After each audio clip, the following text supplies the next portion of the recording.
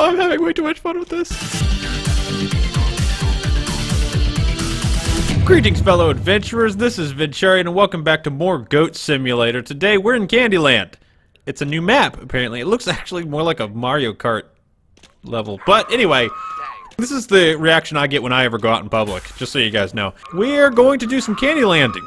So is this based on the Candyland board game? I'm guessing it is, because it clearly looks like a board game. Alright, so where all is there to go?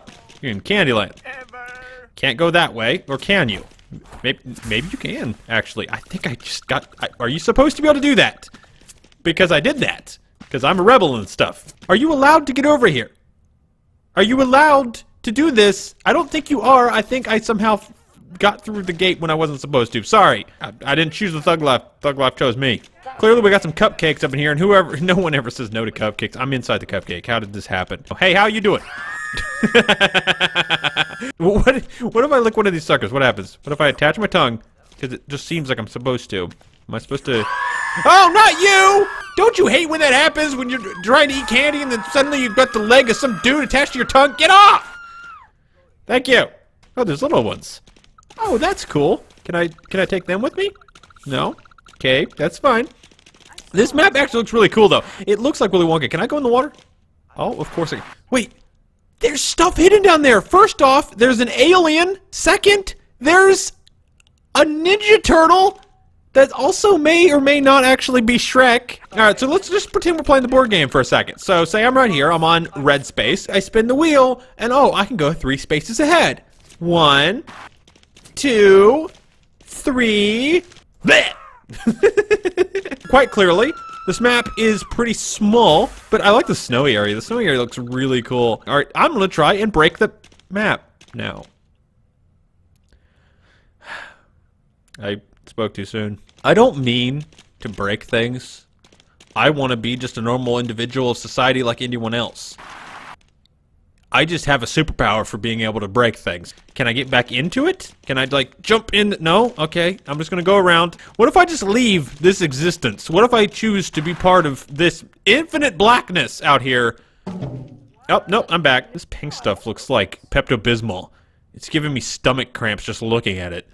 I just realized that this fence is supposed to be licorice. That's very clever. I'll see click Steve from Blue's Clues. Look, Steve, a clue!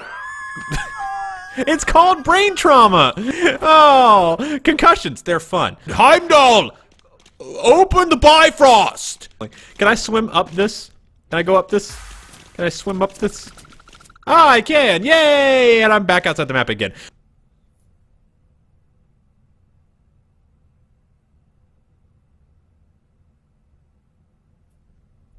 Oh, whoa! Don't, whoa, whoa, whoa, whoa! Yeah, okay, Goat, do that on your own time, okay?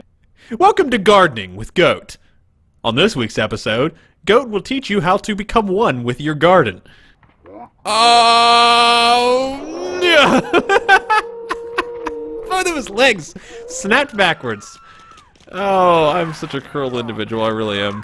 Oh, I love it! I love it! I love it! Love it! Love it!